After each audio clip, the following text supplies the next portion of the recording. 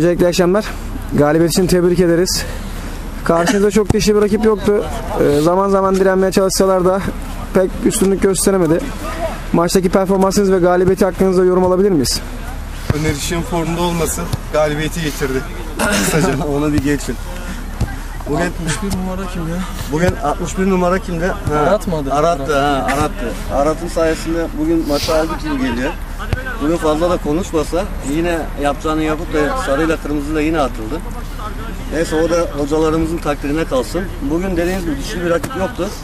Bundan sonra inşallah dişli rakiplerle oynarız da ya da oynama şansı oluruz da ee, ilk etapta şunu söylemek istiyorum. Ee, Ventus'u takım var Murat Koçgil'in. Yasin miydi? Yasin, Yasin Gil'in. abi. Yasin Gil'in. Ee, ya internette öyle reportaj yapmakla olmuyor bu işler. Her gün maç istiyoruz iki haftadır. İki haftadır oynamıyorlar bizde. Ee, yani en kısa zamanda Ventus'la da oynamak isteriz. Yani kim olsa olsun yani dişli bir rakip olmasını istiyoruz. Bir konuşabilir Kısaca Tabii Öner ki. Işık rakiplerine gözdağı alıyor. konuşabilir miyim?